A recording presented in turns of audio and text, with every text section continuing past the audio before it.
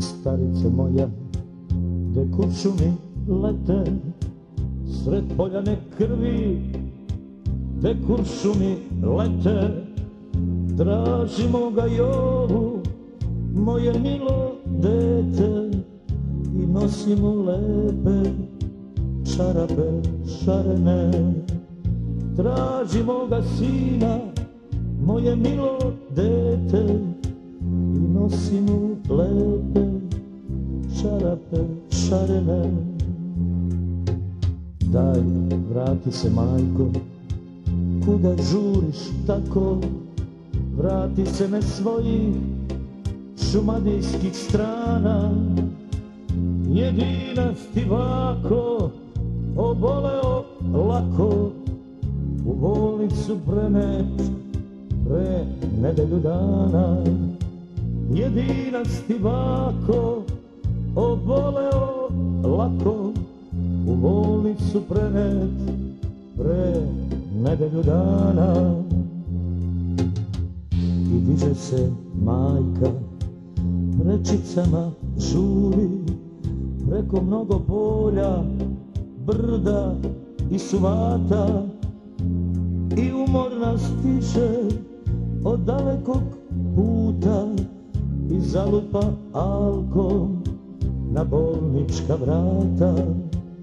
I umorna stiže od dalekog puta i zalupa alkom na bolnička vrata. I starica uđe u bolničku sobu i postelje gleda što oko nje stoje dok odjednom kliknu i na krevet pade. Jovo sine oči moje. Kako su kod kuće pita si polako. Šta te nagna majko čak ovdje do mene? Zdravo su ne brini ja dođoh tek tako i nosim ti lepe čarape šarene. Zdravo su ne brini ja dođoh tek tako.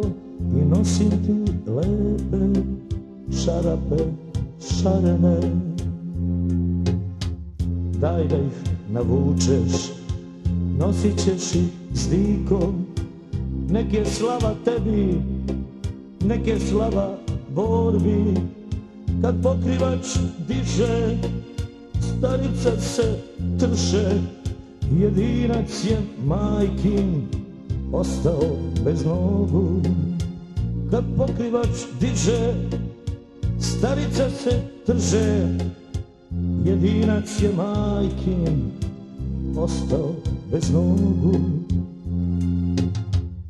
Izdrža srce da suza ne kane pa pokrivač spusti i s ponosom reče i pokrivač spusti i s ponosom reče živi bio Jovo i srećne ti rane